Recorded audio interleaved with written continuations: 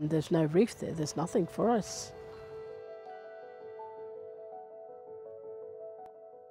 We're here in Bowen on Juru country and this is our totem. The turtle is a gungu and um, the snake, our Gubbalamunda. We're land and sea rangers. We go out doing turtle tagging. We measure them and then we lift them up and we weigh them. We sit there and we talk to it, we pat it and we wipe it down, wipe its eyes. We check for any fibropapilloma, the disease. And then we write it all down, put it on the computer and then we send it up to JCU.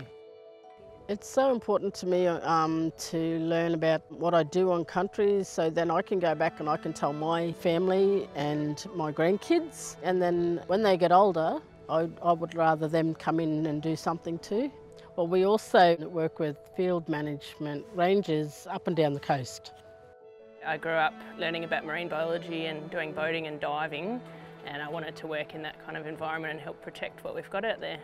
In marine parks we look after wildlife in I guess a holistic way. We're looking after the habitat of a lot of animals, we're looking after the marine park, the reef, the islands and we're trying to ensure that there's good habitat for those animals to be surviving. On a typical day in the field we might jump in the water and do some reef health impact surveys. We monitor things like coral bleaching, uh, coral disease and crown of thorns starfish. Marine animal strandings, so when um, turtles or mammals wash up on the beaches. I feel very privileged to be able to be contributing to the conservation of such an amazing place, especially one that showcases a lot of natural beauty, natural values of the Great Barrier Reef and the islands.